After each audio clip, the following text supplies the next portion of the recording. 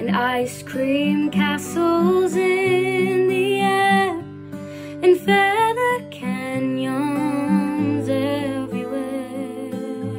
I've looked at clouds that way, but now they only block the sun. They rain and snow on everyone. So many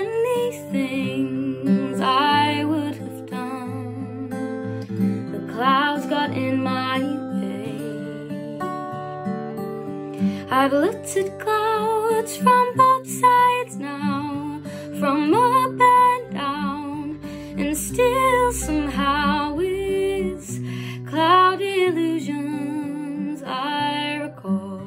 I really don't know.